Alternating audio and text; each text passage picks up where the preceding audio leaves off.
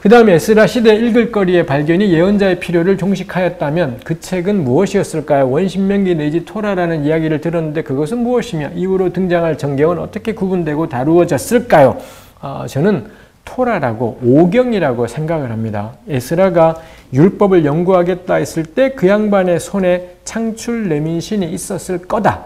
라고 미루어 짐작을 해요. 그렇게 짐작할 수 있는 게 에스라 느헤미야서를 보면 어, 인용하는 내용들이 나와요. 근데 인용하는 내용들이 레위기 구절을 인용하는 게 있더라는 거고 신명기 본문을 인용하는 게 있더라.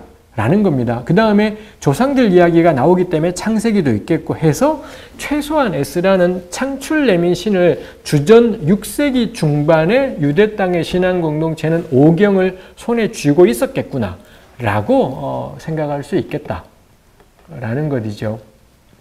이후로 등장할 정경은 어떻게 구분되었을까요? 이거 그 다음부터는 다 추측입니다. 예언서는 주전 5세기경에 지금과 같은 형태로 어, 완성이 되었을 거다 싶고 주전 4세기, 3세기에 가면 나머지 구약 성경의 책들이 모여졌을 것 이겠고 최종적으로는 주후 1세기 말쯤 가서 지금까지는 우리 구약 39권을 유대인들이 어, 함부로 하면 안 되는 하나님의 말씀으로 받아들이게 되었을 거다. 뭐 이런 생각들을 하지요.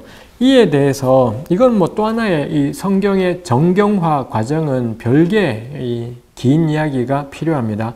우리 최근에 2021년 8월에 나온 책 가운데 옥스퍼드에 있는 존 바턴이라는 교수님이 쓰신 성서의 형성, 성서는 어떻게 성서가 되었는가 겁나 얇은 책, 쪽수가 이 196쪽, 196쪽, 우와, 겁나 많네 싶으면 200쪽 안 되는 책들은 다 얇다라는 겁니다. 그리고 존 바튼 교수님의 특징이 정말 쉽게 쉽게 쓰시는 분이기 때문에 요거 꼭 읽어볼 만해요.